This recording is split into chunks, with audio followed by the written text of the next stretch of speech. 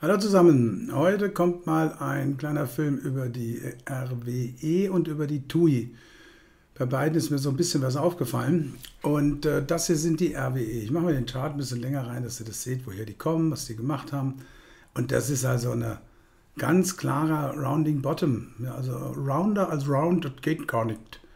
So, und zwar, mir fallen hier so ein paar Sachen auf. Zum einen, wir haben von dieser Bewegung hier da hoch aber auf den Punkt wieder auf dem 38er aufgesetzt und der 20-Tage-Linie. Die haben wir dann vor drei Tagen, wann war ja das am Donnerstag, mal kurz unterboten, sind sofort wieder hoch, wie so ein Flummi. Wir liegen oberhalb der 200-Tage-Linie, schließen da drüber mit deutlichem Abstand.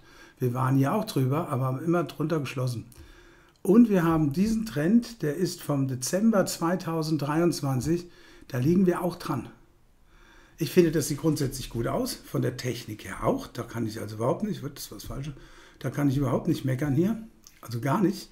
Das ist nicht nur eine Stabilisierung, das ist auch ein leichtes Kaufsignal. Und wir haben ein weiteren äh, positives Stochastik. Ich denke jetzt mal nicht, wo habe ich denn die Zahlen hier? Ich mache die mal hier rüber. So. Dann kann ich den Chart größer machen. Oder auch nicht. Moment, ich mache so. Ähm, ich finde, das spricht alles für den Wert. Das obere Band liegt im Moment bei 35,91. Im Moment sind sie ein bisschen breiter gestellt. Wir haben 17,44 Uhr. 35, 57 zu 67, 10 Cent. Ich denke, man muss jetzt nicht heute Abend noch hier um 17.44 Uhr äh, die Hütte voll kaufen. Das muss man nicht machen. Ja? Was ich mache, ich werde ein Drittel kaufen, und zwar von so einem Schein hier. Das sind 33,03er der liegt unterhalb des unteren Bandes und unterhalb des 50er Retracements.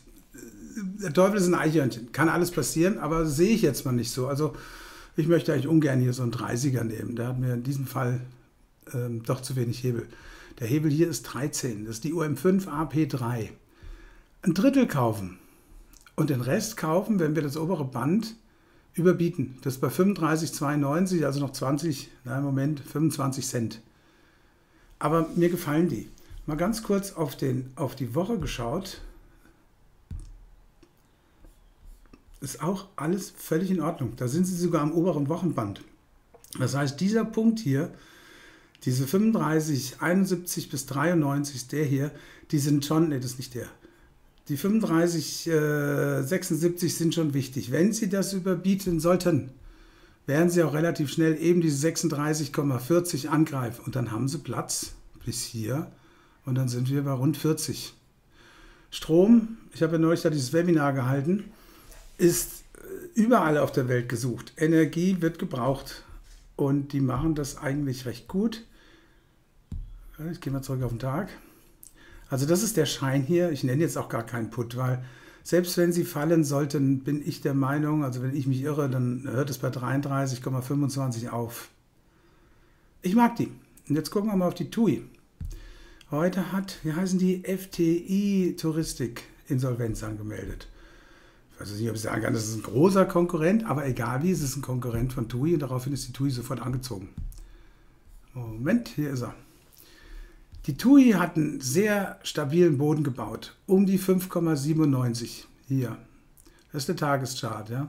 Dann sind wir in der letzten Woche und vorletzten Woche nochmal runter auf die 200-Tage-Linie. Einmal, und das hier sind nur, ich glaube, drei oder vier Cent, das ist nicht viel. Und heute ziehen sie dann um 7% an. Die TUI hat ja schon Zahlen gebracht. Der Markt, das war hier. Der Markt fand die nicht besonders toll. Die Zahlen an sich sind gut.